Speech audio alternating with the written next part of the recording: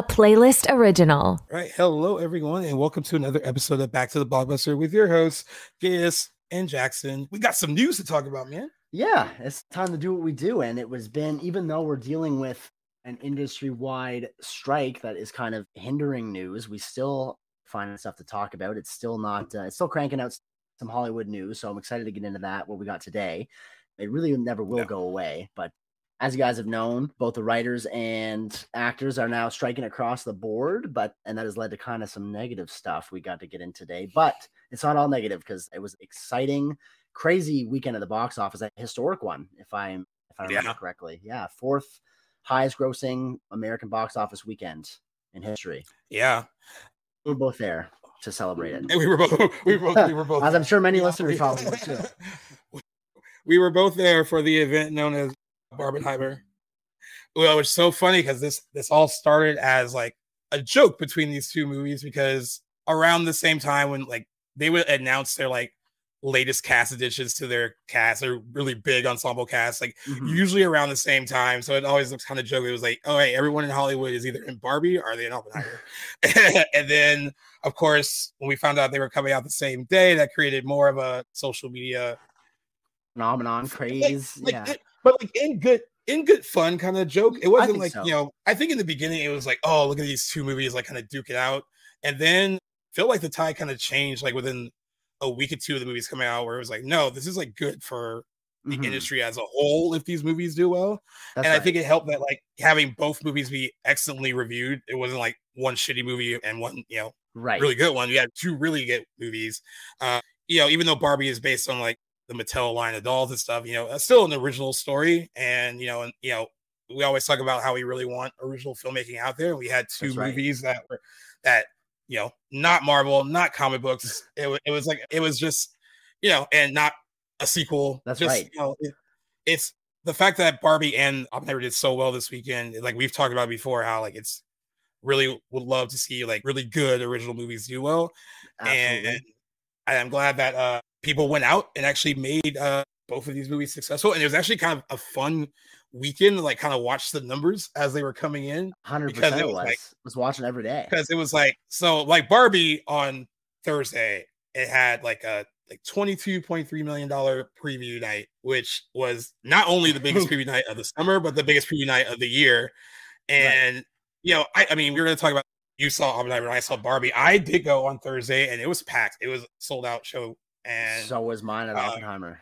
And actually trying to find one with my brother be like going through like the AMC app and stuff. I was like, dude, most of these are almost all sold out. It was a really I you know, I was refreshing. like, what's yeah, it I was, was like, nice. what's going on here? And then I actually kind of looked at Oppenheimer's too, like going in the AMC app, and like a lot of those showings were sold out. So I was like, all right, we have like a nice groundswell, it seems like. And then like Oppenheimer had a really good like preview night too. It was like $10.5 million on preview night. Right. And that kind of boded, boded well because it topped Dunkirk's preview night, which is like 5.5 million when it opened the Thursday. And, then that, it. that's crazy. Yeah. And Dunkirk turned a 5.5 million dollar preview night into a 50 million dollar opening weekend. So I was like, all right, this is definitely going to be bigger than 50 million dollars. And that is what it was tracking at. Uh, and then more numbers came in. It was just like by the, by the end of the weekend, the original, okay, the original estimate for Barbie at first was 155 million dollars, which is insane amount of money you know, especially for a movie like for that. something like this. Yeah, yeah, yeah. For something like this, it was a pleasant surprise. It wasn't like, oh wow. I mean, it was it was really exciting to see. And then the actuals came out, and they were like, no, actually, that's a hundred and sixty-two million dollar opening weekend. Sorry, we flubbed the numbers a little bit, and in a good way. Uh, and then of course Oppenheimer, like, was it eighty-two million dollar opening that's, weekend? That's right. Uh, and you know, this isn't about like, oh, Barbie slayed that movie, they both did so well. I mean, the fact that like a movie like Oppenheimer, which is R rated, three hours long, right? That people Historical came out biopic. for it.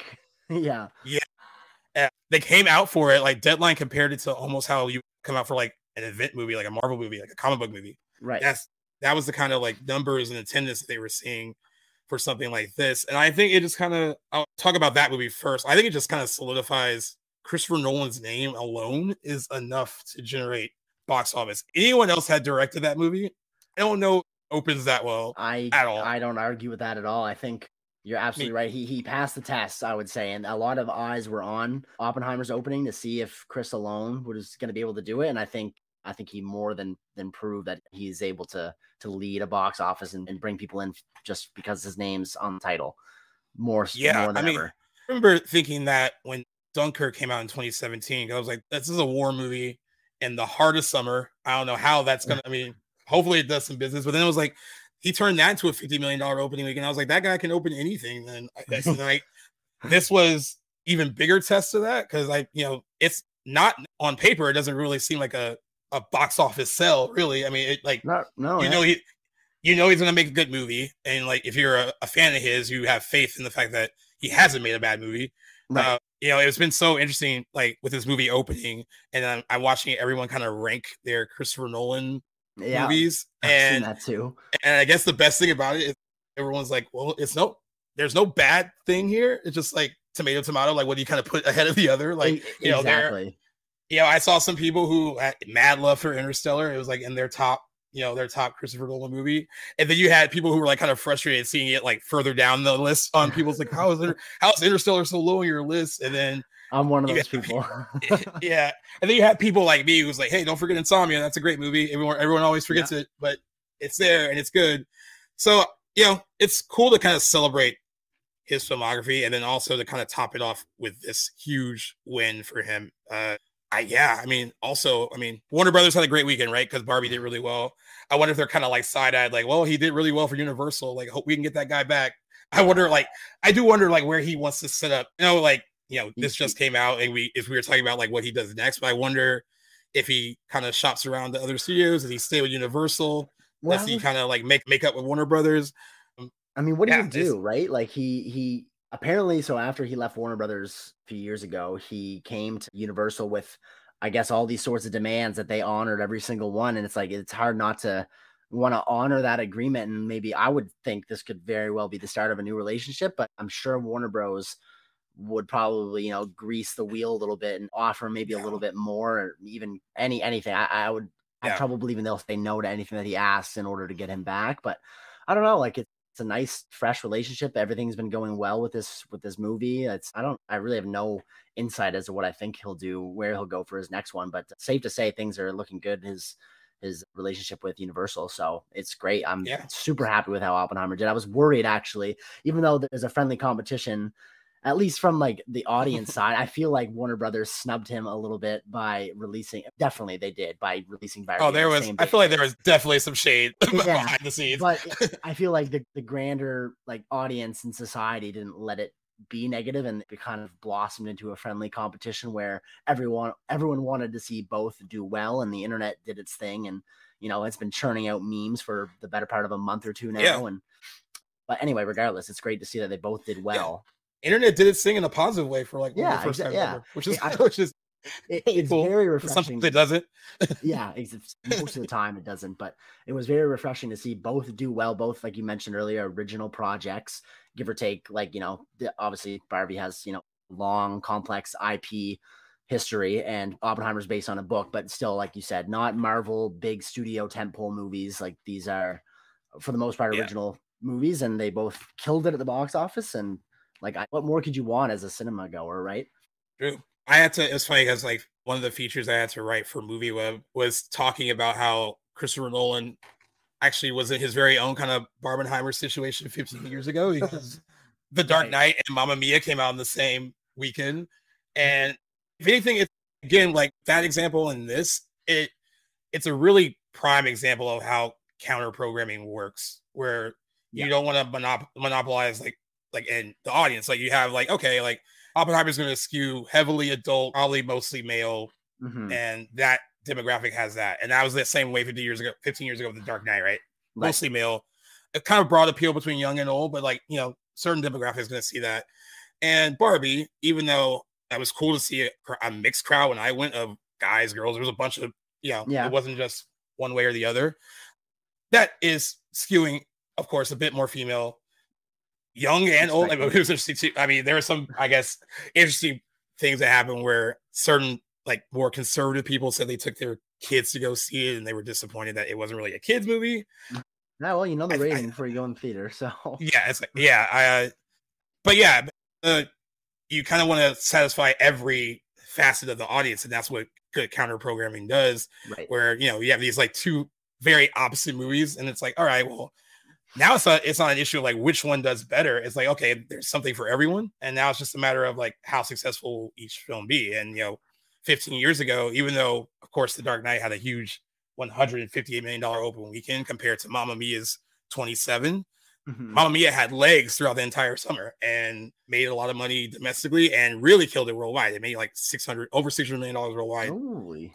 And of course, you know, The Dark Knight made a billion worldwide, but it, it was like, you know, both movies got to shine. Right. And it's the same thing that's going on with this, where it's like, you know, it's almost like it's, I know some people, I guess, online that did the the double feature. More power to Right. everyone that did that.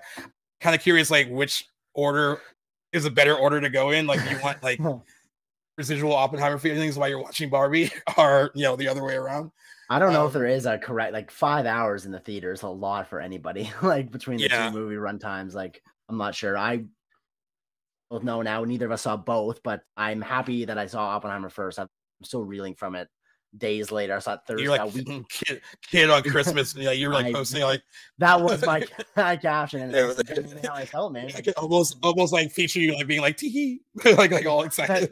That is, I was giddy, and I do plan on seeing it again. But I do, I'm sure by next episode, I'm sure we plan on both having seen the other film, and we can talk a little bit more about both. But yes, I plan on being back at the theater again to see it again, and maybe even three times. I saw Dunkirk three times in theaters, but twice for sure. Whoa, really? Barbie. So yeah, yes, I did. It was spread out over a couple weeks, but this one, I mean, it's only every few years you get treated to a Nolan theatrical release. So I'm going to take advantage for sure. But I'm very excited for you to see it because I had nothing but good things to say. Nice. Well, I you know tell everyone you know because we you know we talked about it being three hours and all that stuff. But like, how did it how did it feel for you? Did it feel like it was lengthy movie, or did it like really earn every inch, you know, every second of its screen? Time? I do. I mean, take my opinion with a grain of salt because I'm speaking very biasly here, but uh, I can't get enough a Nolan movie. So it is You're a like, three give hour. me four, give me four hours. I would take it. Granted, I think it was a three hour that felt like a two and a half or a two forty. So with the pacing is is breakneck, and a lot of that had to do with the fast pace editing. And but it is very dot. I like this sort of thing. So this isn't a criticism, but it is a dialogue heavy three hour history and physics lesson. So if that's your sort of Okay. thing, definitely like at least it's good to know that. I would say going in. That being said, the dialogue's fantastic. The performances, although they very much are tailored to hmm. complement Cillian Murphy's leading performance. They are all fantastic. There's not a single one that doesn't shine. Really cool to see all these different A-listers pop up in really small roles. You're like, oh, holy shit, that's that's Josh Peck or that's there's Rami Malek, even though they're not in the movie very much. So there's a lot of um a lot of actors from out of nowhere all over the place. It's crazy how stacked that cast is, and I'm sure uh, Barbie was the same way. Yeah. But what to say about it that hasn't been said? Every I know it's going to be leading. I mean, there's really not a category uh, that would get nominated in that I don't think it would be leading.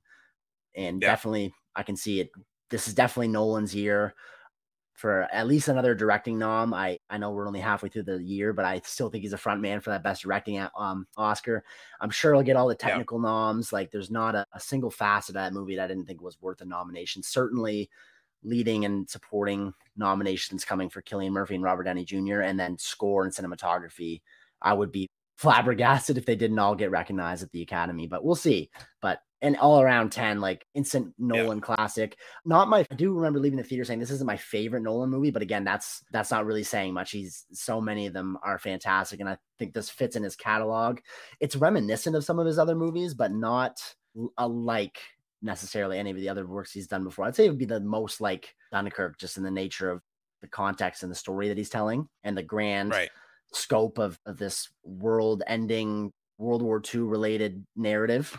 But really, the Yeah. similarities end there. But crazy, crazy Cillian Murphy performance. Like, I can't wait for you to see it and, and us to Yeah. Everyone, everyone's talking him up a lot. Um, right uh, everyone's saying, everyone's saying a shoe in for a best actor nomination.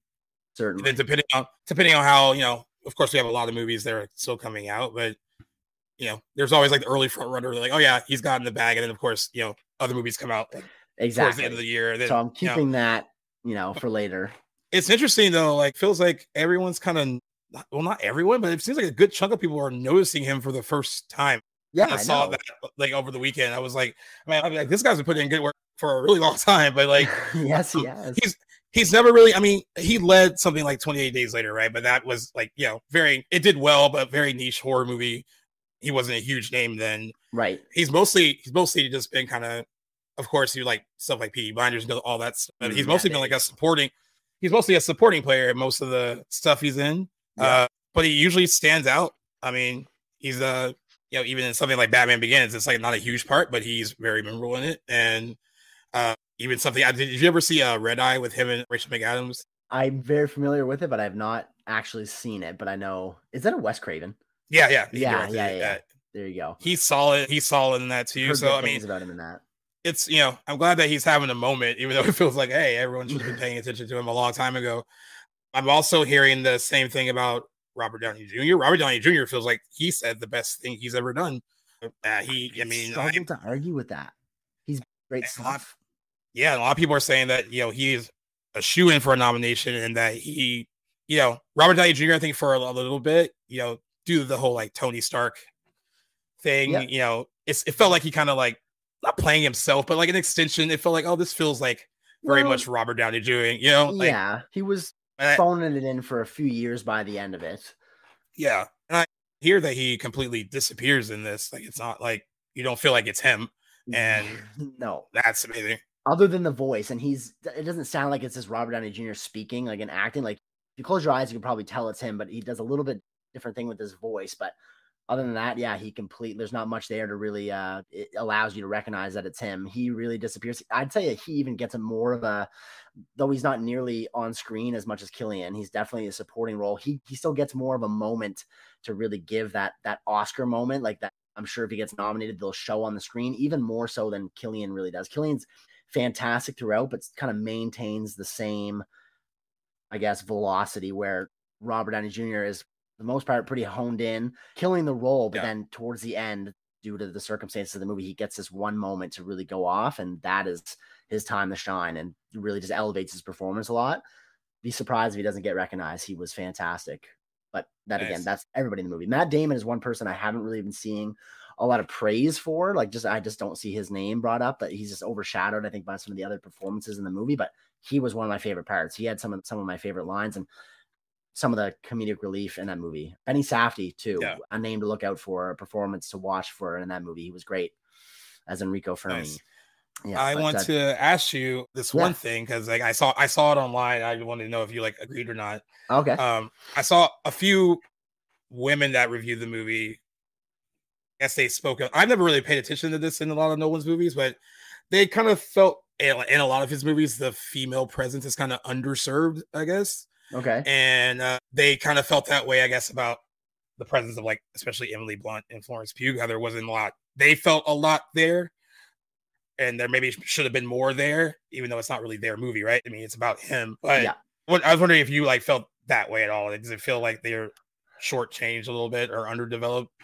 I think here's what I'll say. I, I don't know if I necessarily agree one or the other. I will say that, well, I'll acknowledge too that no, it's no secret. Like Nolan's movies are are definitely male performance reliance and even like I'm thinking of a movie I've seen by him recently. Dunkirk has virtually no women in it, save for a couple extras on Right. some of the boats.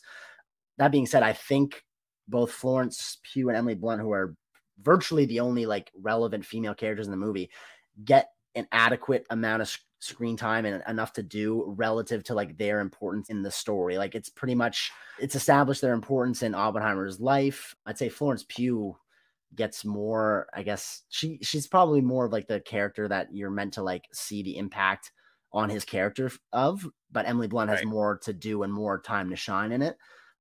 Yeah, I can see that it's it's not any different than maybe any other Nolan movie in terms of like f- the female representation and they're not at the pinnacle or the forefront of the narrative by any means, but relative to their role in in the Manhattan Project and what they're doing in the movie, I think that they're adequately portrayed.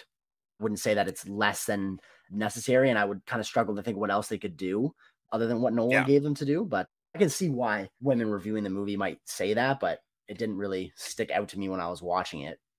Yeah, it's great. You know, when I read that, it wasn't something in his other movies that I really paid attention to.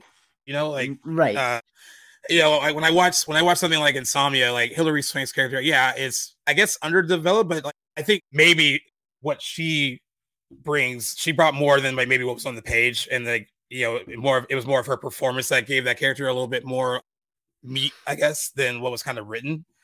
So I, I kind of could see that in something like Insomnia. I guess I guess you kind of feel it in like the Dark Knight a little bit. I mean, I, mean, I don't know how you connect to Rachel. Rachel I, I don't if you connect to Rachel as much as you should, or even Batman Begins, where it's just like it's like she's just the girlfriend, or just like you know, like is there more to it? Even though I think they do a good job of setting up that you know, and something like Batman Begins with Dark Knight that she's a strong, hardworking woman who cares about her job. Like, right, get that. But uh, yeah, I guess maybe there could be a little bit more to flesh out. And I, it's not really something I really like looked at as a detriment though. I never really paid much attention. Like, oh, like he really does cater more to like the the male demo, but in a bad way. But like, no, you know, it, just, happens to be like what the you know the anchor of his stories yeah. just happen to be men involved like you know at the basis of what he the story he's trying to tell and i don't think that's a good thing or a good or a bad thing one way or another it just simply is and i'm fine with yeah. that but yeah no i mean i wouldn't uh, as a woman looking to go see a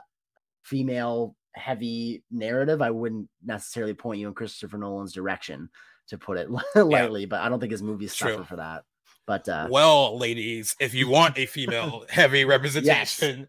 the other end of the other end of the spectrum, you have Barbie, which is kind of funny that. that you. T- yeah, you're talking about like Oppenheimer with the Oscar conversation. This is, by the way, big box of big box of for both movies really helps the Oscar chances a lot. It's like, oh, they're successful financially, and that's like a good look. And I think you know, for the Oscars too, if you know, if they do get represented there, you're gonna have two very popular movies showing up at the Oscars, which is kind of like what people want sometimes from the Oscars. So they're like, yeah, sometimes sometimes stuff gets nominated and they're like, I've never seen women talking, you know, that kind of thing. where it's like, where can I where can I find this movie? In the case of these two really popular titles and very different movies, but like Barbie is going to be in that conversation too. I think. I think Greta okay. Gerwig. That you know the fact that she successfully landed this and landed it so well is a testament to like her talent as a director, and then you know, of course, her writing part, Noah Baumbach as well. They both uh created like a really smart. It's funny, like on the surface level stuff's really funny. Yeah, uh, you know, depending on who you talk to, I I actually dug the. It has a lot. It does have a lot to say about women and a woman's role in the world. As it should. I not expect anything less. Right. I mean, don't know if you kind of seen it online, but America Ferrera, who uh, she plays someone that works for Mattel and she has a daughter, and they kind of like are like the heart of the movie where you know her and her mm-hmm. daughter aren't really like connecting that well, and they kind of connect through this kind of you know shared experience of helping Barbie while she's in the real world and all that stuff. Okay. And America Ferrera has a really well written, very well acted monologue about what it's like to be a woman. Okay you know, in the world. And you're gonna get a lot of dudes who are like, "Oh, that was so heavy-handed," but every bit of that monologue is so true, though. And okay. I think that's I think that's what you kind of have to take from it. Like, I, I have seen like some men kind of attack the movie, like, "Oh, you have to like beat us over the head with like your feminism," but you mm-hmm. wouldn't have to if like women weren't in a position where they do have to explain themselves and work harder and like you know, it's just true in some right. you know walks of life and they wouldn't have to say that if you know that didn't exist you know if that wasn't and, reality and, right yeah that wasn't reality yeah so you know i i respected what she did with it and i thought it was really smart it, i mean it kind of i didn't really so I, you know, of course, I didn't grow up playing with Barbies, and I don't think you did either. Certainly, but, I, you know, they were so present in my youth for sure. But like, I never paid attention to the fact that you know, and they kind of make fun of it a lot. Like, they what Barbie and Barbie Land and all the Barbies and Kens, they think that they've made things better for women in the world because you know in Barbie Land, Barbie can be a doctor, a lawyer, she yeah. can be an astronaut, she can be anything that she wants to be, and she gets she's like in for a rude awakening when she goes to the real world, and uh, she's not appreciated in the way that you know she right. thinks she would be. She's more objectified because she's a woman, and it's funny too because like in Barbie Land, Ken is kind of like I didn't know this about Ken, like you know, lore at all because I of course didn't play with Barbies or right. Ken. But you I never paid attention to the fact that I guess like you know that Barbie has a dream house in a car, but they're like, what does Ken do? And like they really don't like have any backstory. He just beach. That's it. And they yeah. kind of make and they make fun of that a lot. Where like Ryan Gosling, by the way, MVP of the movie. Margot Robbie's very good. I can't wait. Yeah, Margot Robbie's very good, and she balances she balances like the broad humor and like the more kind of touching, vulnerable stuff really well. But Ryan Gosling went full 100% committed. I mean, you can just tell that he had a lot of fun. I mean, they all did. Everyone involved looks like they had a lot of fun doing it. But like, it's just funny, like what he kind of realized his role when he goes into the real world. He's like, wait, they respect men here because they don't really mm-hmm. respect Ken and Barbie Land. Like, they're just kind of like Ken's just there to kind of hype up Barbie. That's what right his presence is. Uh, but yeah, they do a lot a really good job of kind of poking fun at that. There was one line and I felt so bad laughing at it, but it was just so funny. Uh-huh. Like she goes, she goes to Mattel and she like wants to talk to like the CEO who she thinks is a woman, and Will Ferrell's like, I'm CEO. And you're like, all right, what, what about the? They're like, what about the CFO? And then like another dude, and she's like, she names like another position, and they're like, wait, that's all men. Like women don't run Mattel. And she was like, "Come on, there has to be like some kind of woman in like that works here." And one of the guys raises his hand. He's just like, "Well, I'm a man with no power. Does that make me a woman?" And I was like, "Jesus." and it's just so on the nose. He almost felt bad laughing at it, but it was like, "Oh my god!" See, I haven't heard like much of like of the actual like jokes like verbatim yet, so like I really don't know what. Yeah. I've heard that it's funny. I've also heard from numerous sources some jokes kind of fall flat, which is to be expected in yeah, I mean comedy, but any comedy, no yeah, doubt yeah. there's going to be good ones. I'm ex- I am excited for the humor because I've only seen one Greta Gerwig project, and granted, it was it had some humor in it, but it wasn't. It was Lady Bird. I wouldn't necessarily label it as a comedy first, so I am excited to see what kind of, even though it's I guess it's Noah Baumbach written, but uh, co-written. Yeah. Did they both? Did they both write? Do you know? Yeah, they both wrote it. Okay, yeah, they well, both wrote it. In any case, yeah. yeah, I am excited to, to see what kind of humor I'm in for. I, I would expect a lot of it is like a social satire and has a lot to do with like women and men's place in society. So I'm expecting kind of like that kind of humor. But as for what yeah. exactly the nuances, I am still very much looking forward to if it's going to make me laugh and which sort of ways. Yeah. But like that's an example of a great joke, actually. Yeah, it was, it was I was dying, dude. Like the whole theater like erupted when that line came out. I was like, but you almost felt bad laughing. I was like, oh well, Right. I mean, well, you know, that's a good job of any satire. Does does it come yeah. across as a satire, or does it come across because here's something? It's very like tongue in cheek. Like I mean, okay. you can really tell that. Like yeah, but like that it was tongue in cheek, but there was also like a realness to it too, where there was a message. And I know that might sound cheesy to some people listening, but there had something to say too, which right. makes it better than just being like a one joke kind of movie. And I, that's what I respected about it. I mean, of course, it's coming from Greta Gerwig, so I knew there'd be more to it than just like there have to be some kind of underlying like message and theme and like yes um i know, feel like people I, are surprised at like didn't expect that sort of thing like because although i've seen criticism of the movie like i've seen from the people that i follow regularly on like youtube for instance like the people that i watch reviews of like it's been pretty split on the people that i follow men and women alike but i feel like yeah. people are surprised that it had the message that it did it's like were you not a, sort of expecting this to to be what they were going for like I guess some people right.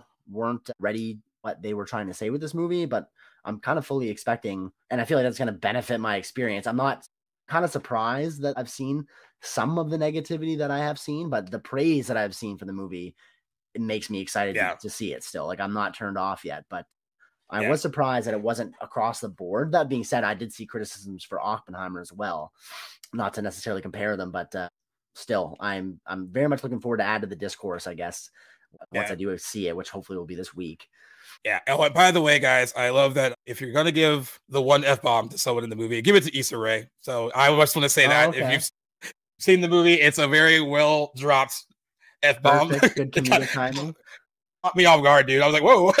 Okay. But but you know, like if you if you're familiar with Issa Rae a little bit, she's got she's got some sass, and she was able to like drop it in like the best way possible. Nice. So it was like it was pretty. Like my my brother I like had actually had like a guttural like laugh to it because it comes out of nowhere. Uh, it was it was great, and you know I we talked about Margot Robbie, we talked about Ryan Gosling, who have been getting the obvious praise. The whole ensemble is very good. They all like Simu Liu has like some really funny stuff in it too. He has okay. really really funny stuff with Ryan Gosling. There's there's some there's some song and dance stuff in it, yep. which it, it, worked for me. It was funny. I mean, right? I mean, another example of Ryan Gosling just going for it. Uh, I also love like someone like him at this point in his career where it's like it seems because you know he's done comedies before, like you talk about the nice guys and like crazy stupid yes. love, where you know he's done comedic stuff. I think for the most part, he's kind of viewed as like a very serious actor. Like a lot of his stuff is very. I'd say his filmography reflects that. Definitely leans drama heavy, and you I know, love you know, you get, you get, more like Blue Valentine than like Chuckles. So like, yeah, yeah, exactly. But it seemed like he kind of just the interviews he's done for the movie. It seemed like he really like opened up a part of himself for this. I was like, hey, okay. I should probably loosen. I should like loosen up more and you know, I guess he was really, really encouraged by Greta Gerwig to do it because she really wanted him. That was like her only choice for that part. Okay. And and because she, I, yeah, and what she said to in interviews, because you know we were talking about this a little later, like the actors aren't, they did all their promotion for Barbie early, like because they knew the strike was kind of coming and they wanted okay. to get Good thinking. everyone out, get everyone out to interview. But like the last week, it was mostly just Greta Gerwig promoting the movie, and it makes sense. But she said like what's good about Ryan Gosling is that there is he's funny because he comes from the jokes with the jokes from like a real place. Like he he wants to know like the meaning behind the joke and why is it funny. And he like and that's kind of like what she said he did with that part. He okay. It was she said he was he's she said it was he was so funny in this because he took it seriously. It, okay. He didn't really take it. He didn't really take Ken to be like dummy. Like he really kind of came at it uh, like no, I really want to understand this dude. And I think that's why I think that's why it works because he is like fully invested in like you know who this guy was, and it kind of you know on paper his role doesn't really have a lot that you know that Margot Robbie says where there's like layers, but right. I don't think that's the point. I don't think that's the point for his character. I mean, like it's he definitely is certainly there. I mean, there's comedy everywhere, but he is constantly the comedic relief. There's no like a lot. There's no like real. The serious moments that he does have are kind of like layered with comedy because it's very over dramatic. Because he yes. like he you know kind of like this like woe is me like like look at me, I'm Ken. Like, what do I have? All I have is all I have is beach, and I only know you, Barbie. I don't. How do I exist without you? That kind of existential crisis. That's what he's going through. Okay, okay. um, I can see um, fun. Yeah, so he has to play, you know, most the jokes, and like, you know, like I, you said earlier, you said some people said that all the jokes don't land because, like, but that happens with comedies it's where it's like, yeah. But I would say for the most part, it really uh, does. And I, yeah, I guess the cool thing about this, if it does get some Oscar love, it'll be it'll be nice to see like a comedic film kind of get represented at the Oscars. So that's not that that's rare. Yeah, that is rare. Uh, and I think he's a shoe in for a nomination. Donnie, who's actually been on the show with mm. a lot in the past, and you also use on the screen with with us.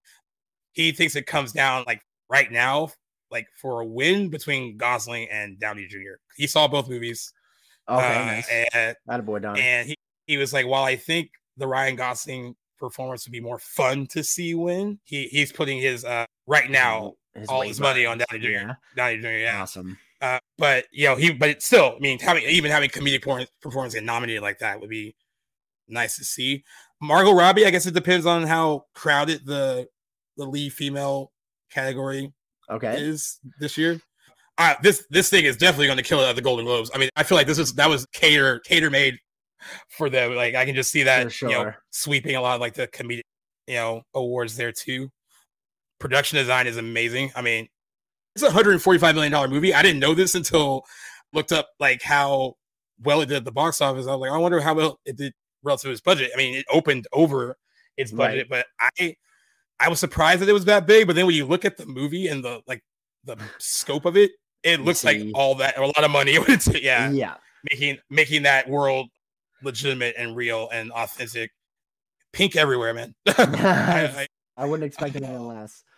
All over the place, and in contrast, it is Oppenheimer because Oppenheimer Oppenheimer's all grays and blacks and dark tones. It's, yeah, it's hilarious how much they stand in contrast to each other. The production design is another fantastic element of that too. It's something that they both excel in, no doubt. You can tell it just from the trailers. Yeah, and also when the you know talked about records, he talked about the fourth uh biggest weekend at North American theaters. Yep. Uh, above and beyond the biggest opening weekend for a female director too. So kudos to Greta yes. Gerwig on that Certainly. as well. I guess before this, it was Captain Marvel, which was co-directed by a man and a woman. Oh, I don't know. And that was that was like had like a hundred and fifty five million dollar or fifty four million dollar opening weekend, and that was like the biggest one opening with a female director, but uh, I suspect Greta Gerwig will have this be the record holder in this for a very long time. I mean, and I say I say that I know it's because I I really hope that genuinely opens the door to be like, hey, like give female directors big studio movies. They can do bang up job with them. Um, and I hope you'll see more of that. I think hopefully her success with this will lead to studios being like, oh yeah, you can, guys can do this too. It feels like a strange thing to say, but like that's how Hollywood kind of works. They, they need like an example, example of like, yeah. oh, look, look at what happened. All right, well, we'll give you another one. Once but, something makes money, then I'm sure they'll be way more likely to throw their weight behind, you know, change. So the, hopefully this will yeah. be the one that you know opens opens the doors for for other female directors. Yeah, and you know, it's cool. Margot Robbie, I guess when she because Barbie was in development hell for a really long time. I think, as you know, like at one point it had another writer attached, like Diablo Cody was working on it, and then that's when oh, it involved yeah. like Amy. It involved Amy Schumer back then. She was oh, supposed to be the lead, oh, and I think God. the movie, as, yeah, yeah, yeah, I know I felt her. And I think the movie, as we see it now, is completely different from what they kind of pitched and sold before. Yeah, uh, but Margot Robbie, I guess, in her pitch meeting with Warner Brothers, and probably seemed like a silly thing to say then but when you look at the numbers now, it's like, all right, what she said makes sense. She pitched it to Warner Brothers like, hey, this is like Jurassic Park level big. Like she sold it like this is how big it can be. And again, it probably sounded silly then, but then you look at the numbers from this weekend, you're like, oh well, she's not wrong. uh, she, they, you know, it's crazy to me like to see like a marketing blitz like this work and not realize like how does it not work all the time? Like whatever the motif that they did to market this movie, like they did all the right things. They got they got all the stars out promoting it ahead of time. I think having some of them jump on the Oppenheimer Barbie train too helped as well, where they're Certainly. like, hey, like go support their movie, and they're like, hey, no, yeah. And Cillian Murphy's in an interview saying like, yeah, I'll go see Barbie. I love all those people. I think that helps. It's a weird way for both Absolutely. movies at the end of the day. And I, I know I, it's really cool to see. I don't like. Imagine her being in that meeting, and I wonder like what the executives kind of felt like when they left, like, okay, okay Jurassic Park. and then and then now probably as of end of day Sunday, they're probably like calling her and praising her, like, oh, you were so right. um, I'm sure they're glad they listened to her because yeah, who could not look at that that opening and not, you know, be overjoyed, especially as a studio exec. Yeah. Now the big question is because I think um I think worldwide it opened to like a little over like 300 million worldwide. Um, uh, Okay, Barbie. Yeah. I was gonna say I know between the two oh, of them, go, oh, yeah. like over yeah. half a million, over half a billion. Sorry, but I haven't seen the individual yes. numbers yet. So the big question is: Do you think Barbie can be a billion dollar global earner at the box office? I'd say like it's on track. I guess we'll have to see what kind of legs it has.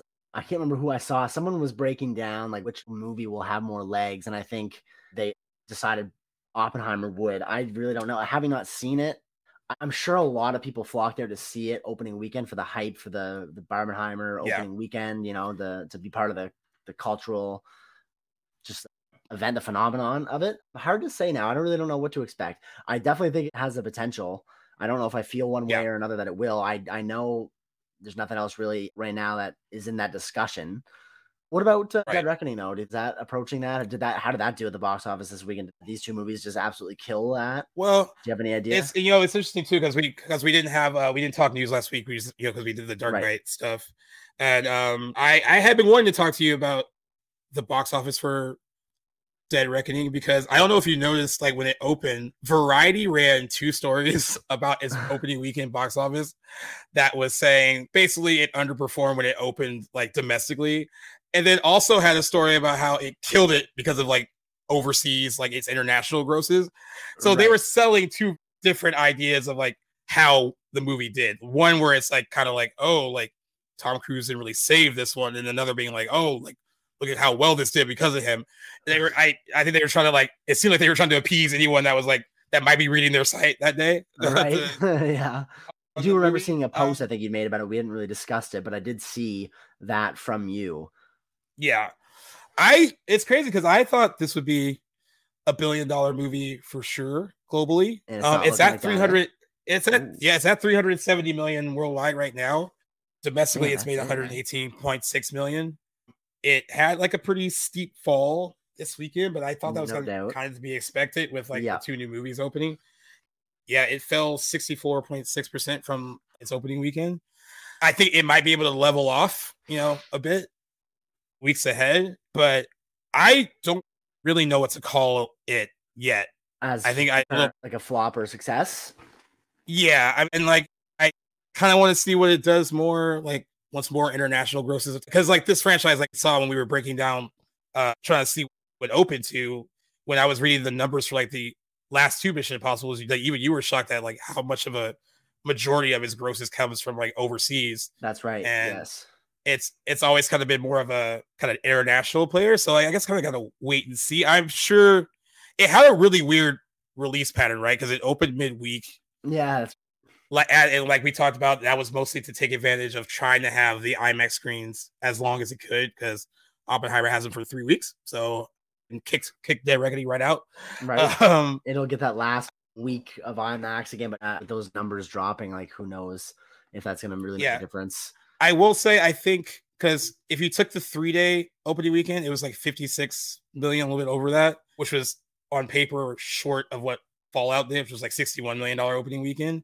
Okay. But you know, Fallout didn't open on a Wednesday. You know, a much very different release pattern. I think if Dead Reckoning had a standard three day opening, the opening would have been bigger Mm. instead of it being stretched out across you know Wednesday, Thursday, Friday, Saturday, Sunday.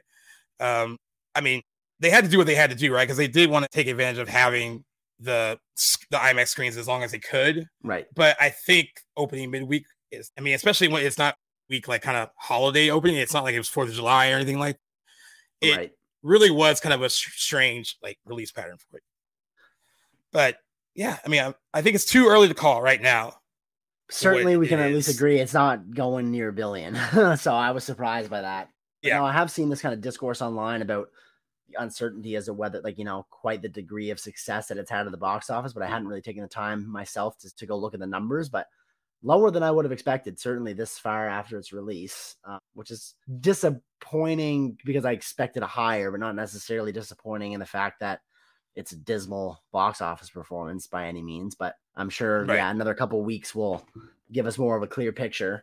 But to get back to your question, I'd rather see Barbie before I really predict if I think it'll hit a billion. But certainly, I'm sure movies have opened to less and have still crossed that threshold. So time will tell. But do you do you feel one Yeah. way or another? I think it has some gas in the tank to do it. I think Yeah. it doesn't have like a ton. I mean, This is the case for both movies, right? There's not like a ton of competition incoming. I mean, you have stuff like Talk to Me and Haunted Mansion, but like a lot, of the bigger movies have already opened. That's Uh, right. So, I mean, so I really, it has a chance to kind of just like, hey, it's one of the only games in town kind of things, So, like, hey, this is like Right. what Yeah. everyone's choosing to see. I think it's the kind of movie that will get repeat viewings as well. I think it has that kind of where people right. go see it more than once. Again, like you said, you want to see it for yourself before making like a total judgment on it. But I, I think it has a chance to do it Okay. and and I'm sure. I mean, we talked about how this was a great opening for or a great weekend for you know movies not tied to like a comic book or a sequel or anything like that. But I can imagine the Warner Brothers is like, uh, so can we get another one? like I, I'm sure that's probably already. Boy. And I, and I think all involved are willing to do it. that it, did it going. end on any sort of note that it, it could have a sequel. No, not really. I mean, it kind of I didn't It- get that vibe. I want to give it a there. If if Greta Gerwig and Noah Baumbach had a really good idea to write something where you, there was a good reason to go back into that world, I would be Yeah, invested in. I could see Yeah. it working. You know, I don't think that sh- they would do it unless they really had a solid idea to revisit it.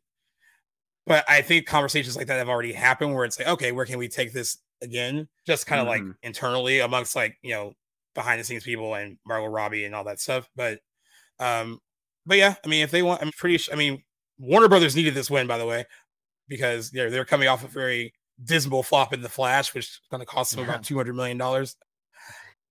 Who know who knows is what's going to happen with Blue Beetle? That entered tracking at like twelve to twenty million dollar opening weekend, and that is not Oh good. man, man, I And- didn't hear that shit. and and I feel bad because I and I guess is a good way to kind of segue into this. Like Mm, act the actors can't promote the stuff because of the SAG strike. Right. So I think blue something like Blue Beetle would benefit from its stars being out there to promote it. I know that they said that Warner Totally. Brothers thought about delaying it and they decided against it. And just I think I hate to say it, I, mean, I think they were just like, let's just get it out there. and I, I mean, this is like it is gonna lie, like that's the approach I would take if I'm in their shoes. Like they really need to before they kill their new universe before it even gets here, they need to wrap up what's left of the DCEU.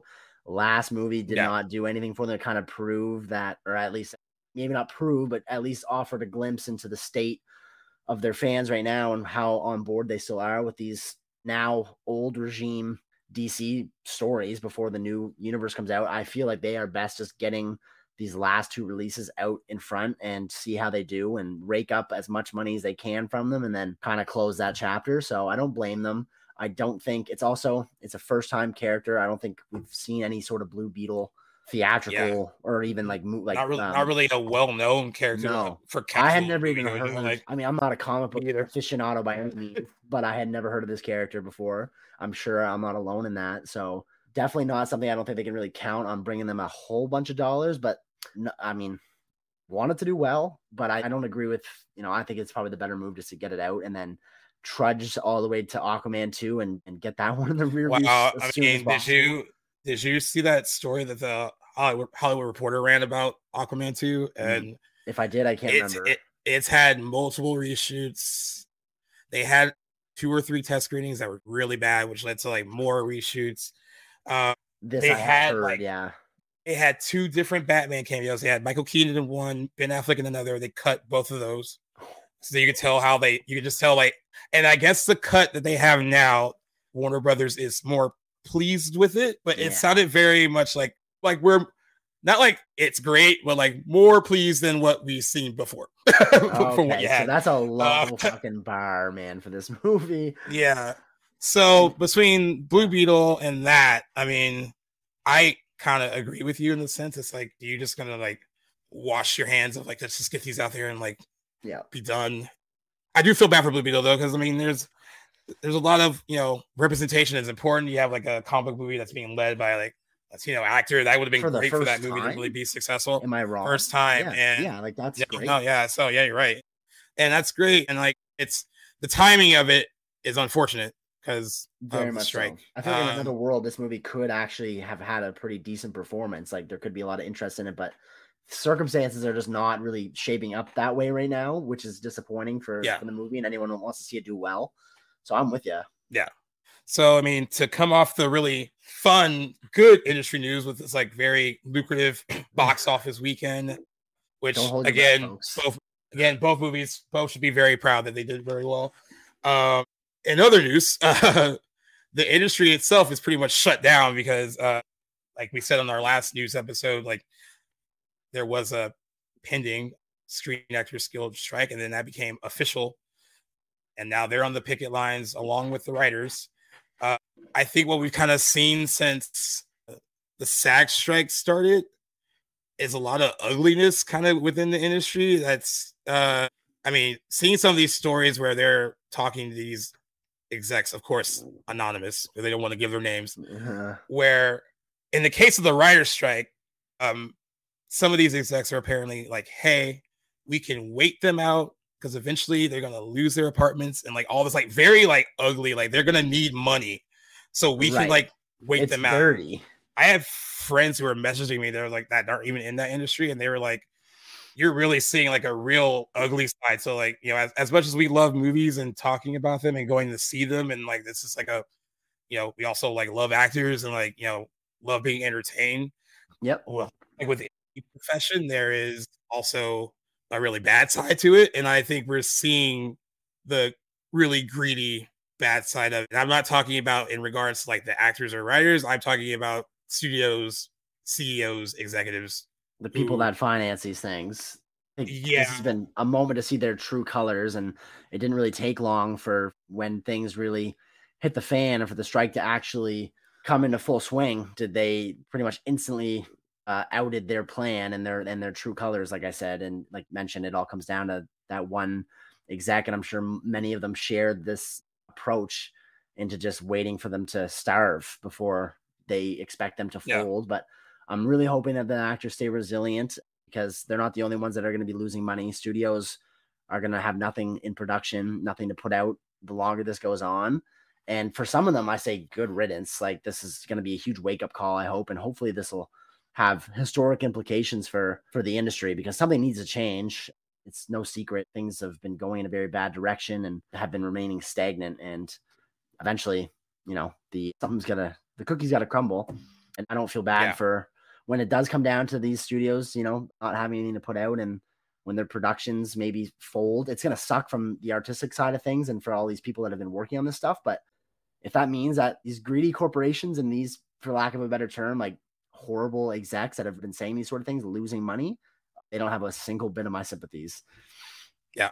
One of the, one of the really crazy things, I mean, there's a ton of crazy things because they actually, yeah, people from the Screen Actors Guild actually like release kind of like, you know, they have like what they were kind of suggesting what they wanted and whether or not the people that represent the studios either rejected it or like whatever. And you know, they it was clear that they rejected their offer when it comes to residuals about streaming. They didn't yep. want to budge on that.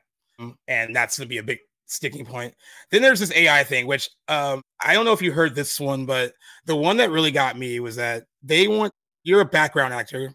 Like mm. they wanted to be able to, okay, get paid for this one thing, your background, this one movie or TV show. They want to be able to kind of scan your likeness and then be able to use it in other projects without paying you for yeah. using yeah yeah for their likeness and i can't believe they actually I, thought that was going to be agreed upon yeah and some of the some of the actors and even writers that saw that deal were like yeah because they they keep saying like oh we gave we offered them like historic historic significant bump. And they're like, yeah, this is part. They're like, this is part of that historic uh, bump they are trying to give us. Like, look at all this fine print, and like that is that's crazy that you would want to not pay someone for using their likeness that you can just use it over and over again as much as you wanted to in any project you choose to work on in the future. Um, it's almost comical, like how out of touch those people are.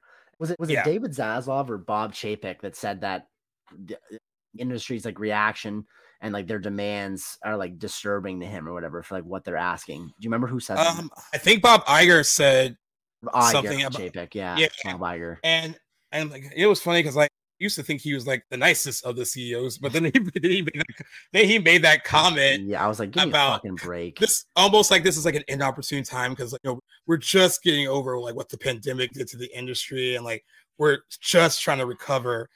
And swell thing to hear from you when you make $27 million a year. Exactly. I mean, it just it was so it's just so tone deaf and like exactly what it uh, is. And I don't I don't see like in an interview you could actually like in his position say that. Like I guess like you're that rich and that out of touch.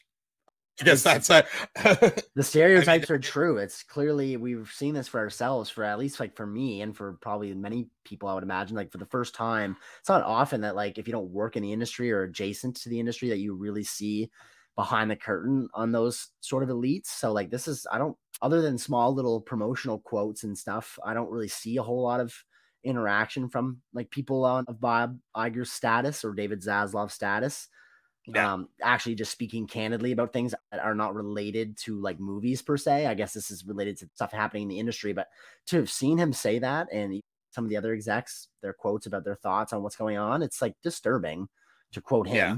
It's like ridiculous like you said tone deaf hard to imagine that somebody who makes tens of millions of dollars can complain about dishing out like literally it's we're talking about 0.217% of a studio's net worth would satisfy the demands of, of, the guild. Like it's ridiculous that they won't succeed. Yeah.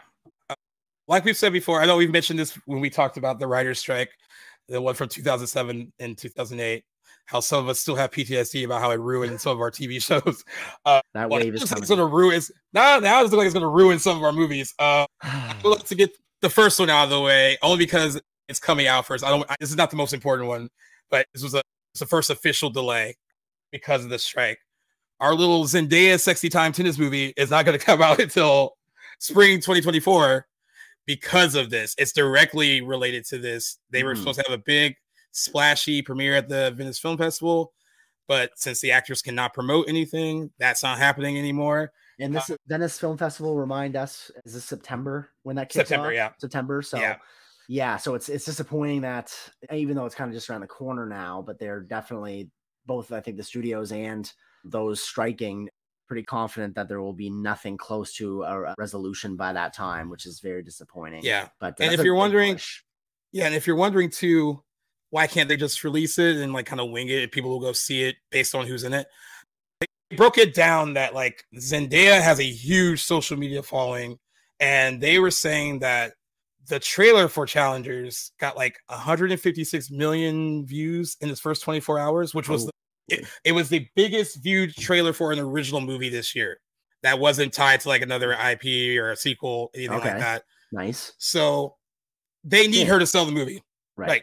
I mean, like she, I mean, interesting too, because I, one of my friends was like, people really care like about actors going out on talk shows and talking about movies and like promoting their stuff. Mhm. It does, it does help get the word out there, especially uh, like a movie like this, where like, uh, the person in question who's leading it has a younger following and they will pay attention to that Right. and they'll pay it they'll pay attention to like what she's wearing on the red carpet or like you know like that sells the, even that sells the movie even more so than her just doing interviews about the movie so that promotion is important um it sucks because i was really looking forward to that movie Me too. um yeah, but now this could actually affect another zendaya project which is- right. which was this was the one and this is not official yet but they're thinking still about not it. yet. Yeah, maybe by the Uh, time this comes out, it will be, but hopefully not. Yeah, as you know, you know, Jackson and I are really looking forward to Dune Part Two. It's still coming out in November so far. so far. But But- Warner Brothers is really looking to for Thinking of moving it 2024. Same thing with thinking about, which is crazy. They're even thinking about it with Aquaman, which has already been moved around on the release schedule Oh so many God, times. Who cares? Just get it out. And and they're thinking about it with The Color Purple, which is going to be their big kind of Oscar baity musical that was coming out in December. Oddly enough, they didn't say this about Wonka, which is also Warner Brothers. I assume I'm assuming that will be in the same spot too. Uh, yeah, they have three December releases, don't they? yeah, I was like when I when I looked at so it, I was weird. like when I looked at it, I was like, why are you guys trying to like kill your own projects? I'm Yeah. not like competing with each other. It's, you know, I It's like it's like some it's like some intern made a mistake and put them on the wrong dates or something like yeah, no, honestly, it does feel like some oversight. But actually, now that you mention that, now it almost kind of does make sense to push Aquaman 2. That's not the movie that's going to be making them any yeah, we, we don't care about that one, guys. like to speak candidly, like I feel like they should kind of prioritize, you know, Color Purple and Wonka, especially as they're just not tied to the fledgling DC EU. And it Right. doesn't really matter when Aquaman 2 comes out. Like, I don't really think there's much. Gonna, I don't think it does anymore. movie. It's it's moved around so much that's like okay. exactly. And like, they can't really start working on the next universe anyway. So there's going to be a gap between when they can even Yeah. put out their next ones. I'm sure all the dates that they had, f- like tentatively for their next, the beginning of their DCU, are going to be moved. So it, I guess it couldn't hurt to have something in between to mine that gap. So they may as well Yeah. prioritize the other two. There's three releases in December. You're going to kill your chance. That's at, true. You know, and making the most that you can at the box office that way. So well, Maybe dude, I at this point, you might you might be like 30 by the time Aquaman 2 comes out. like for real this though, like seriously. It's been delayed how many times? Like two, three Like- significant ones delays. it was it was it was yeah. Some of them tied to COVID, and then also tied to like just a lot, just Warner Brothers being Warner Brothers.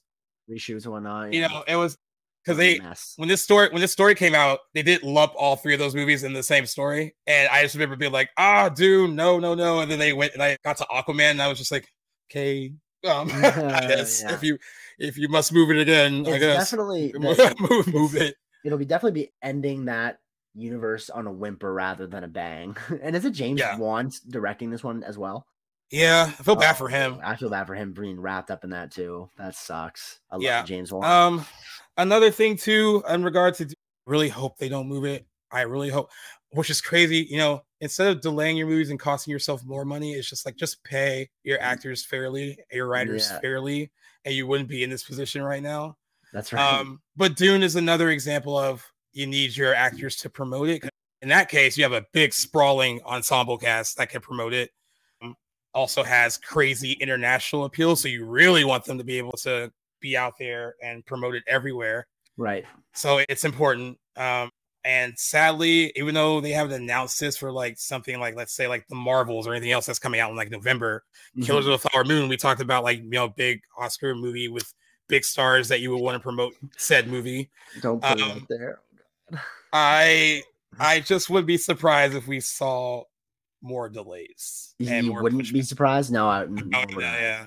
I really, um, really hope, but things are looking dismal, unfortunately. But time will I, tell. Yeah, I got the taste that it was going to happen when they when they delayed challengers. I was like, all right, that com- that was coming out in September. That means that you don't think there's into this anytime soon. If you're if if you're pushing a September release to next year, mm, that does not well. in the future, like even a few months from now, we might be looking at the challengers delay as the first domino on yeah. these on these on this delay of the, the movie release calendar, which I'm really hoping we won't be, have to say, but you know that earner or shareholders or whatnot are going to start speaking when their investments aren't turning a profit and when these massive corporations churning out movies and when it's costing investors more and more. Have a feeling that they'll fold first. I still think that. I really hope so. I guess it really depend how steadfast the unions are and they're the ones with everything to i mean with the biggest stake in the game i suppose. So i'm, I'm hoping that yeah. they just you know stay steadfast but it's still early into this thing too, which is unfortunate. Like a lot of things could really go any sort of way in the next few months.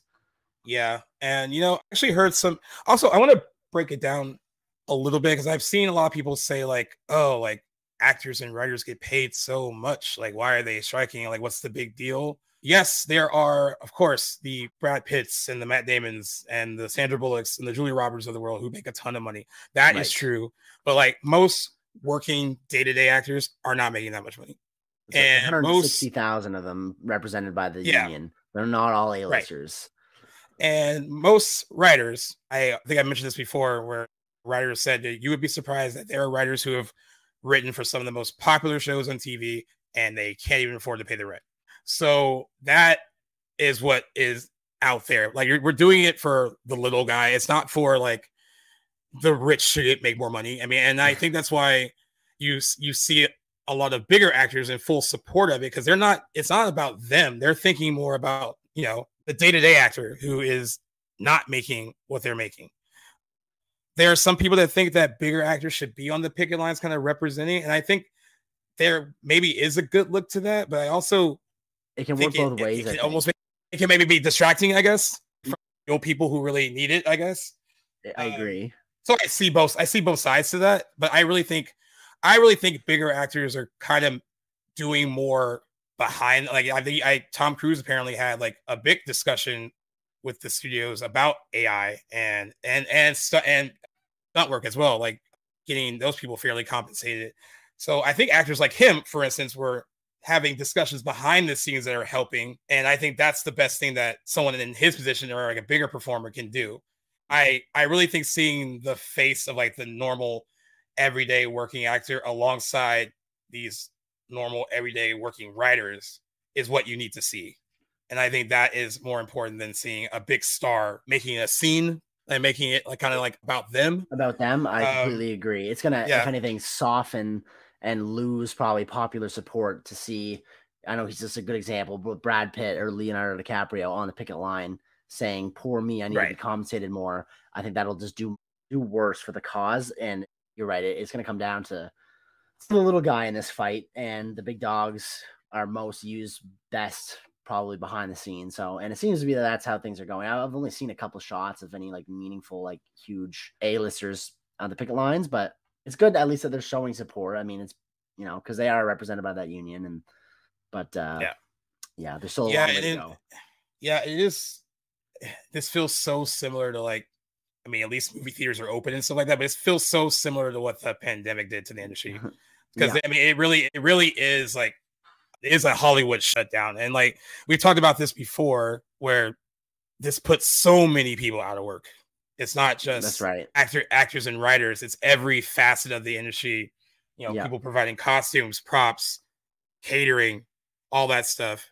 They're not working, and uh, I, there was like some guy in LA, LA uh, that actually owns a prop store, and like he's really nervous about it having to shut down right now because he nothing's coming in, no money's coming in, right. and this this is a place that's been open for decades, oh and he could he could possibly lose it. And I think that's that is important to hear and see too. I mean, it's, it's more so than like you know just the actors and writers. It really has this like domino effect through every yeah. Aspect of the industry, and it's costing the industry a ton of money. I mean, one of the writers on Twitter that I follow said it best, and I think I kind of brought this up to you when that story broke about how like we'll just rate, we'll wait them out. You know, yep. eventually they'll feel like they'll they'll just starve and they don't have any money. They're gonna want to come to the table and just take what we give them. One of the writers I follow on Twitter was like, "Well, you know what? Most of us writers are used to being broke, and most exec most execs are not really used to losing a lot of money. That's so right. I think it's gonna. I will be them that like once they have like their earnings call and like be like, oh shit, this is how much we're losing. That that yeah, like there, there are a lot right. of broke, struggling writers and actors out there who are used to being broke it's and struggling. New. So, yeah. so it's yeah. nothing new. And like, and I think only I think putting that out that story out there, even though it was ugly and it was pretty vile, I think it also showed fire and these writers who who saw that that story and were like, oh, like this is what you think you're going to do right. to us, and and it only makes them kind of dig in their heels more. Like, no, we're not giving up, and you know, we're not, we're, not, we're almost not going to be bullied into giving up because, like, to it really is an evil notion to say that to like be like, hey, like, eventually they're going to need us, right? Because they have to live, right? And like, it's it's so like it's almost it's almost cartoony in its villainy. I completely agree. It's like I feel like they're like Doctor Evil from Austin Powers. You know what I mean? Yeah, it's really like mustache. Yeah, yeah.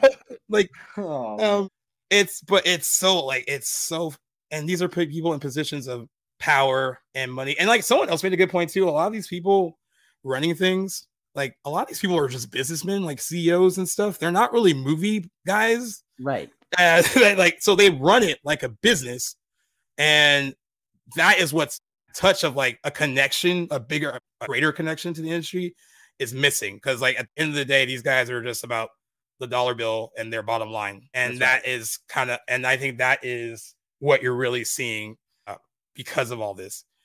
And, you know, I didn't really, maybe I w- wasn't too keenly aware. I think it was a little bit different when the last one happened because we weren't in the streaming era and there was more at stake there was less at stake when that last writer strike happened.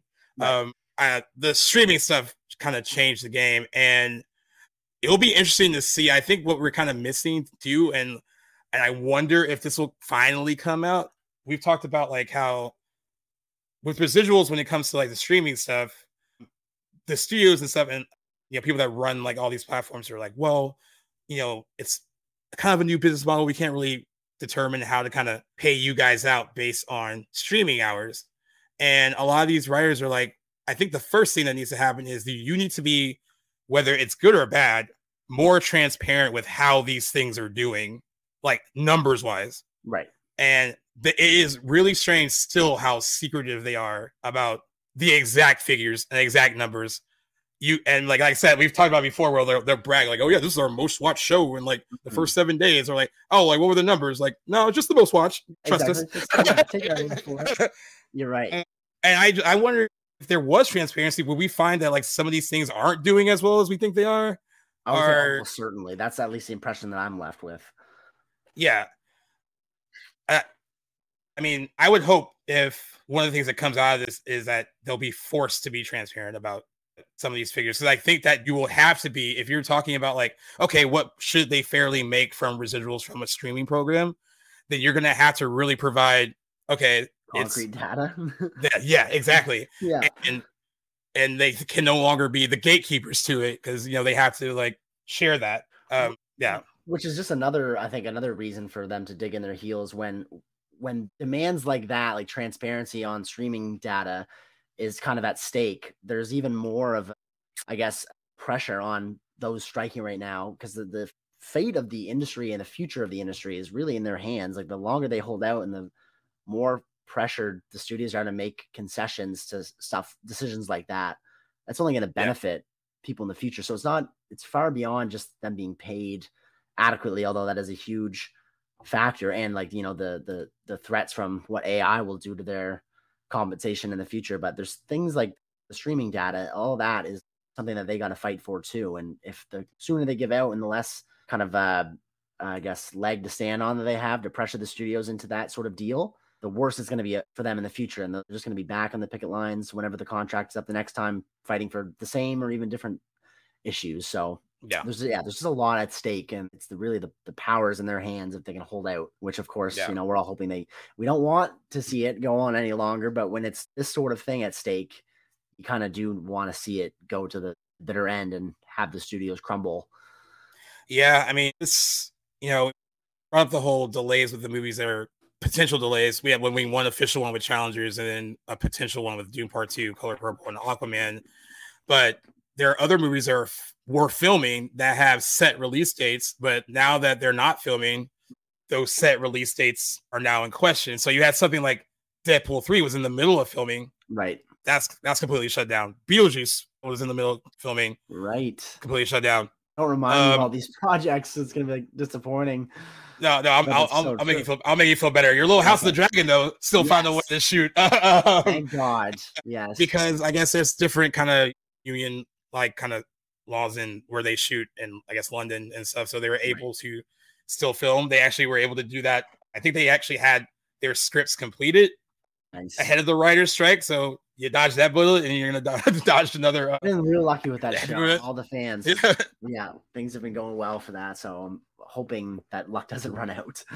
I heard that Wicked only had ten days left of filming when they shut them down. Oh, so mm, and yeah, I mean, like it, it really is like complete like you know in the case of the writers when that writer strike happens it was like all right pins down mm-hmm. laptops off. Now the actors are in it like nothing shooting. Can't do anything without your talent. So uh, there's that. I just really hope i mean i just know well, knowing what we know from like a lot of these guys i don't i think they are just going to try to be greedy and ride this out mm-hmm. and it's un- it's unfortunate well, they have our support from back to the blockbuster and our, our, listeners, I'm sure. So hopefully they can, that will carry them across the finish line. But I'm sure we will be covering this for a lot longer. So, yeah, I think so too. And you know what?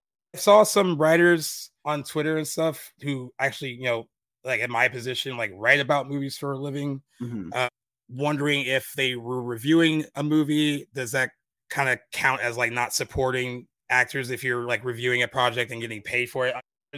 You know, if you work for a publication and you're getting paid to cover movies, you're not being paid by the studio. You're being paid by your publication to do a job. Mm-hmm. And that and that job is protected in that. You can still because who's to say that if you go and review something that you're gonna like it? So it's not like you know it could be it could be negative. So you know there are some content creators and influencers who are in a different position because some of those guys also eventually want to become actors and actresses right and and a lot of content creators and influencers they do get kickbacks from the studio like hey we'll give you this swag bag if you say something really positive about our movie they can't take that stuff right now because sag is like hey if you ever want to be in this in the future and we find out that you're kind of promoting stuff in that kind of way mm-hmm. then they won't let them be members so right. it's a very kind of fine line i guess but you know I any writers listening who like might feel like oh like I feel like I'm if I'm reviewing a movie or something for my trade that it's in some way showing that not in support of that. It's not that you're getting paid to do a job, and and you're, of course you're not being paid by a, a, studio or network to cover it. Like you're a journalist, so that's your job. Uh, you know, like I fully support the actors and writers. Um, you know, it's interesting because I know I I saw like I know Ty and I think you too, right? Like canceled like some of their uh, yeah streaming stuff. Absolutely. Uh, I don't pay for credit, so I don't have to cancel that. But yeah, no, Netflix certainly. I I mean, and I don't feel bad about it. Well, yeah, I mean, and that it's you know, in covering this, it's like promoting anything. We're not really trying to uh promote things one way or the other. We're just trying That's to just right. covering the news as we kind of see it. And but yeah, I think we made it pretty clear from the start of this, like with first where the writers and now the actors where we stand on this. Absolutely, um, it's pretty clear. And I know, kind of, I know, like we've been kind of a little tongue in cheek, jokingly, like, oh, like it's gonna, you know, pushing some of our these movies that we were looking forward to. Yeah, we are having a little fun and like, oh, we were sad for that, but I mean, it's still it's not pleasant either. Like we want to be covering like really positive, fun kind of news regarding the industry. Absolutely. Uh, this isn't doing any good for us either. Yeah, you know, I think you'll, you know, seen some podcasts who like, you know, who are like, hey, like their thing is to kind of cover the new movie every week, right? And they're like, right. they're like, they're like, if we have to, we'll pivot and we'll change and we'll there'll be a lot of throwbacks and like stuff like that. You know, like they're like, we can, you know, in support of like, you know, of what they're fighting for, other people are trying to pivot and like handle things, you know, respectively in their own way. And and hopefully people listening think that we've handled it respectively and covered it uh, respectively as well. And even though it's not the most pleasant part of the industry, we will continue to update you guys on what's going on. Unfortunately, I don't think it's going to be ending anytime soon, but mm. we'll be along for the ride, though. We'll be along for the ride. Uh, but yeah, fucking greedy CEOs, man, it's crazy. I'm so out of touch with all their money and they're super young.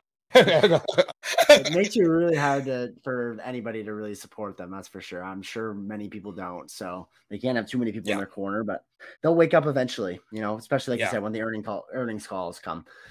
But yeah. um, well, speaking of movies that may or may not be coming out, there are some. We do have trailers. Which was this was a weird. I kind of felt. By the way, Comic Con was this weekend, and as you know, a lot of the actors couldn't go to promote their movies because that's part of the the rules when you're striking within the union. So they couldn't attend Comic Con. Um, there was some stuff that was released for the Marvels that you could tell that was probably maybe going to be like they were going to be represented there, right? Had there had there been no strike, uh, which is why I thought it was strange that this Marvel trailer got dropped in the middle of the night. I, I got home from seeing Barbie, and it I came out at like 11:30 at my time. 11:30 11:30 at my time. Uh, and I was like, well, that's really weird to drop like a trailer for a big tentpole release, but whatever. um, what do you think of the trailer? I um, I not much to be honest. It didn't it didn't improve upon anything I'd seen in the first one. If anything, like I'll say it didn't look any worse, but my bar was already quite low. So that's not really saying a whole lot from my perspective. But just to reiterate, like this was not going to be, I don't think anything I was going to go out of my way to see in the first place. Definitely not up my alley. So take that, take my opinion of it, you know, how you will. Um, I don't really have a lot of confidence in this movie. What did you think?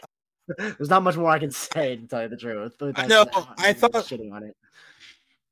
I thought the first tra- trailer was better okay. than this one because at least the first trailer made it look like oh this is gonna be kind of fun, a little different from the other one. Doesn't Certainly. look like it doesn't look like it's taking itself too seriously. I don't know. There was like it's just crazy because yeah, I coming off of Guardians of the Galaxy Volume Three, which I thought was really good. Which I was like, okay, that this is how good Marvel can be when they're really good. Uh, right. watch, watching this trailer, I felt like it was like a, we're dialing it back yes a little bit right. to like how I you know how I felt with like Ant Man and the Wasp Quantumania or something like that, where it's like oh like almost back to basics and not in a good way. try, try the basics. yeah, because I feel bad because I feel like the Marvel is going to get shit on in its own regard. Everyone knows why. We talked about it. Yeah, We'll just, we'll just call it the Brie Larson effect. Um, I, I've tried not to shit on it too hard. It just didn't look like anything that really, I don't know, nothing really grabbed me from it. I mean, the three leads look fun and like they look seem like they're having a good time and like I like that, but like nothing about it made it feel like a must see I I, don't think they've done a good job setting up who or who their villain is and what the motivations are. I don't think really like yeah. the stakes of of them they're having their powers manipulated and switching bodies every time they use it just does not sound like that. It just kind of sounds like something that i would expect out of like one of their like comedy driven mcu shows more than the big catalysts and the issue at hand for for um, you know the sequel to one of their bigger tentpole releases. It doesn't seem like the stakes are really there in this one. Granted, I mean, it is a trailer. It's not going to tell us everything, but uh, I really have no idea what sort of movie this one is trying to be. I, I don't really get the sense. I do very much feel that Brie Larson is sidelined in this movie, and I feel like that's a reaction to some of the yeah. the hate her character and her performance had from the first one. Although people, you know, like it, I think that they're Marvel in this case is really appealing to those that had problems with Captain Marvel and are making sure like, she's not very much the vehicle driving this this this movie. I feel like I see that in her performance, at least in some clips from the from the trailer. But well, uh, she seems like a supporting player in her own yeah, sequel, which is exactly. like which is kind of how I, I felt with Indy in his movie, like same sort of effect. Right. And there's nothing wrong with sharing the wealth, of course, but like it right. really feels like like they're like, hey, it's a Captain Marvel sequel, but we're kind of disguising it as something else. That's what it kind of feels like uh, a little bit. And I haven't watched Secret Invasion. I get the impression from that trailer that I probably should be watching it to fully understand where we're going to be at when right. we get the Marvels. And that is another Marvel problem that I don't really love, where it's like, oh, I have to be watching that TV show to feel like I'm up to speed by the true, time this movie comes true, out. True, and a lot of people have complained about that. Also, this anybody that's like mid into Secret Invasion right now is kind of having massive spoilers by the release of these trailers. Like it kind of takes away all the tension. If there was any yeah, to begin with, I haven't heard anything good about Secret Invasion just from the people that I follow that have been posting about it. But if you had any sort of like you know interest in seeing what's going to happen to Nick Fury by the end of Secret Invasion, you can pretty much rest assured knowing he'll be fine if he's appearing in this next outing yeah. in a few months. So just like poor, I, I, feel like they don't care, right? At least they're caring much less than they had. I think like phase four really detracted and phase five and everything, all the delays that they're facing, the Jonathan Majors issues, everything going against yeah. Marvel right now is, I feel like, is culminating in this movie where they really don't know where to turn to next. Yeah, I agree. And also, still strange to drop it in the middle of the night. I mean, it's supposed to be like a big movie. I was, I was like, random. I was like, was this a mistake? Did someone like send it too early or late? I don't know. like, what does that say? Um, the confidence they have. Uh, yeah. right? Like you don't drop a picture like that in the middle of the night while everyone's asleep. so odd. But yeah, if you're interested in the Marvels, will be out on November 10th. And I guess quickly, the last trailer I'm just going to discuss for a second. Uh, I actually saw this trailer online first, and then when I saw Barbie, I actually saw it ahead ahead of nice. Barbie. That seems it, appropriate. The, the trailer for Wonka played much better, and that like on the big screen. Okay, it looks it looks absolutely fucking whimsical. I kind of all in. I don't know. it looks pretty good. Word, the one I was looking for that I could not figure out how I wanted to describe this movie, but I will say I'm a little conflicted as to what I think the tone of this movie is trying to be. That's not necessarily criticism, and I'll make my mind up when it comes out. But you know, like there's this whole like discourse about like from the earlier like Gene is it Gene Wilder that played? Yeah, yeah, yeah. Yeah, that there's like kind of like a sinister presence to his Willy Wonka in the earlier ones, even though it is kind of a whimsical, fun family movie. There's like darker themes in that other yeah. one. And I feel like we had glimpses of that here, but it overall feels very much like a younger audience oriented, like kind of the magic that because it's from the director of Paddington, which is like universally loved, yeah. but still like, you know, much more lighter in tone and theme. And I feel like this movie is yeah. skewing that way while sort of kind of giving you a peek behind the curtain of some of the more like radical, weirder side of Wonka that I feel like it's kind of battling right now. But any case, so the trailer is very interesting. Looks like it'll be a lot of fun it does look like that's that was the one thing I was going to ask you that too. Okay. I beat you to it. I, I, think he is probably him and Florence Pugh. Like feel like they're like some of the best actors of their generation, like in their mm, little kind of age, age, group. Uh, and to me, this was like another example of like the guy has like seems like he has like incredible range and can do anything. I mean, I mm-hmm. it I'm intrigued by it. I do get a lot of people. This was a trailer that when it premiered online, it felt like very split the reaction, where it was like okay, people yeah. who felt like you, people who felt like you, in the sense of like, I wish they wouldn't, I wish they wouldn't shy away from the fact that that character and that story is kind of dark-ish, right? And uh, and some people were like, they made it the, and this is supposed to be like a direct prequel to that, so it's just like this feels a little bit more like, oh, he's such a good guy and it's light and it's like you know he's fun and like right. They didn't really lo- love that. But then there are other people like me that like saw the trailer. I was like, I I just looks completely engaging. I mean, I like the music in it seems really good and fun, and like it looks engaging. I'll I'll agree with that for sure. Um, I know. Usually, usually I'm not really sold on movies like that, but I like when I first saw the trailer, I was like, it made me feel like a, a little kid again. For like, I was like, oh, this looks like it could be could be fun. Uh, Certainly. And what did you what did you think of Chalamet though? I mean, from the clips in the trailer, different than anything I, I think that he's worked on yet. I will say is like I'm excited for him to kind of disappear into this role. I can't help but feel like I can. I don't think he's quite been you know enveloped by the character. I can tell that's Timothée Chalamet, but I'll save right. you know reserve any like sort of analysis until I see more of his performance. But I think this will be a good step in a direction in terms of like expanding his catalog of you know the kind of roles that he's right. able to take on. So I think it's an interesting step in that direction for him, and because he's kind of played, you know, well, you know, he's been diverse so far, but he's Yeah. I think going to great lengths not to get himself typecast, and I appreciate that out of him. I love Timothée Chalamet, uh, and I would love to see him in this. I'm excited to see where he takes the role. Yeah. but I'm hoping like want them to lean into more of like the darker stuff. I guess I would be happier if we see a little bit of that, but time will tell. In any case, I think it does look compelling. It looks like it'll. I think Christmas time is a perfect time to release a movie Yeah, like this, that's a, and I should think things go should things go the way they should and they Yeah. release it on that date december 15th is when it comes out it feels like the perfect kind of movie for that time of year certainly um so prime release date if they can keep it yeah see it being a big hit if it really hits with families and stuff too i you know and it does you know, it does feel like it's from the director of paddington it feels very like i was like oh. I was like that doesn't surprise me. Uh, but yeah i think, I think the two trailers that we're discussing i actually interested in seeing it more so than the marvels certainly um, I at the agree. moment.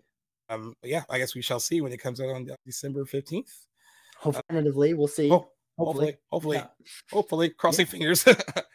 One thing that's not going to get delayed though is this week's box office prediction, which is a movie that I'm very much looking forward to since that first trailer, an A24 horror, no less, which I don't think we've really covered anything like that box office wise since we've been, you know, doing this. So, Australian indie horror movie put out by A24, Talk to Me, comes out this weekend. In terms of prediction, do you have any numbers that will influence this guess or comparing this to? Well, to compare it, I'm going to use other A24 horror movies as, like guess, a good example. It might be good to kind of compare it to something like Hereditary, which had really great Right. reviews at a release, and then uh also maybe Midsommar might be a good one too, both by Ari Aster, but still eight, but A24. Uh, right now, Talk to Me has a 96% on Rotten Tomatoes, which is great. The buzz on the movie is like super good. Yes. Uh, apparently, apparently there is no fat in this movie. They said this is a very lean, Okay. scary, like as from start to finish kind of thing, which uh, which is good. Uh, you know, Hereditary when it opened June seventh, twenty eighteen, opened to thirteen point five million, uh, and it had legs. It carried that to forty four million dollars domestic and eighty two point eight million worldwide. In a similar position as Talk to Me, where you know really good reviewed horror film. And then uh, Midsommar, which I think might be another good one to compare it to, had an opening. I think it was in the eight dollar range. I'm just gonna look it up real quick. Oh wow, lighter than I expected. I guess I didn't realize how small those movies were when they were coming out. Yeah, because I'm oh, huge actually, fans I- of them. Yeah, opened this actually six point five million dollars in its opening weekend, eight twenty twenty seven point four million domestic and forty eight million dollars worldwide. I think those two are good. I comparisons. So it's like Hereditary, of course, opened a bit bigger, but um, let's see. Well, I had higher ambitions I- for this movie, but comparing it to those, like I think I'm going to drop it down just for the sake of conservation. But I want to go with a nice. I'm going to go with like a 20 because we haven't Uh, had a good horror release. It could kind of be really the kickoff to kind of an early start to spooky season. I know August, late August, September kind of is like the official, but uh, this could be. You know, we'll see if audiences are really ready to go all in on horror. We've had a summer full of blockbuster releases, so I'm expecting people are going to show up a little bit to this one, although, but it doesn't have you know the superstardom of Ari Aster or like a, an acclaimed director behind it. Is I think it's the first feature for the two for the duo that's making this. But anyway, I'm going to go with a confident 20. Okay, I love your I love your horror movie confidence. it's got good buzz. That's another thing. 96 Rotten Tomatoes. That's fantastic. Yeah. I'm gonna I'm gonna come down a little lower than you only because I want I I wonder if the buzz and groundswell is like just within like the horror community and not like you know how it Mhm. feels like oh it feels like everyone's talking about this and then you kind of realize like oh wait no it was just us Yeah. um, um, i'm gonna go with 14 Okay. A little more pragmatic. We'll see. Yeah. I'm really excited to Ah. see how this does over the weekend. I- I think it's coming to my theater. We kind of miss stuff like this sometimes as being in a smaller town, but if it's there, I'm going to be seeing it for sure. But I guess I do got to fit in two other. Well, I got to get Barbie and a rewatch of Oppenheimer in, so I might be living at the at the the box office this weekend. We'll see though. Oh, yeah. all right well hopefully i mean either way though i mean imagine the budget on this movie is not huge so i mean either True. It's opening gonna. week either, opening weekend would be great. Um, and uh, and you're right, or does tend to work, you know, as we've seen time and time again. So uh, yeah, I I think we could. Yeah. I This is hope it one doesn't come I any lower. Yeah, I would say anybody that kind of interested, or if you're just hearing about this movie, go watch that trailer and tell me it doesn't scare the socks off you. I think this looks like it's uh, potential yeah. to be one of the scarier movies in recent memory. I think it's just got a great plot to it, and really excited to see where it goes, and really excited to get my you know to get spooked out in theater again because that is not something that happens very often with me. So. The last thing that really spooked me out was earlier this year with Skinamarink, and even that I kind of had my it- it Yeah. didn't, didn't scare the crap out of me, but a couple tense scenes for sure. But I'm expecting this one to to really go all out. So Yeah. I hope it doesn't let justice down. for justice for. Skinamarink. I love that movie. Yeah. All right. Well, I know we covered a lot today, uh, but I think we got a lot of stuff in. And I know we missed a news week last week, but we have to let that Dark Knight episode breathe because you know That's that's, an important movie. but uh, hopefully, we got you guys all caught up with uh, some of the stuff that's been going on, and I, I'm glad that we started the episode celebrating a big, like I said, big box office win for Right. two really good movies. Uh, that will be the biggest takeaway I think for me for this episode was like seeing how, like you said, the internet actually did something good this time. It made, made these two movies, did made these two movies very successful, and kind of just going to focus on that, like having two really well reviewed movies that absolutely killed it at the box office this weekend. Agreed. It was nice to Uh, start off on not a dismal note for once. Yeah. Yeah. Yes, for sure. All right, buddy. All right, Um, buddy. Let's wrap us on up. Yeah, just on that note, though, guys, if you haven't seen our latest episode 109, where we were talking about the 15th anniversary of The Dark Knight, feel free to go do that. You can find it wherever we release our episodes. And we had a lot of guests on that episode, which made for some great discussion. It was uh, fantastic to talk about that movie. But this has been episode 110 of Back to the Blockbuster. Thank you so much for joining us again as we caught you guys up on some industry wide news. It's not always positive, but it's a blast to talk about it with you, especially Gaius. So, Thank you for joining us, guys. Remember, tell your friends that you guys can stream us wherever you guys get your podcasts, especially on the newly released playlist app. Go check it out. Check us out over there. And wherever you guys get your social media, you can find us at Back to the Blockbuster at that handle on any app. And we appreciate your support as always, guys. Feel free to reach out to us throughout the week. We'll have some more content headed your way. And until then, Gaius, it's been a pleasure.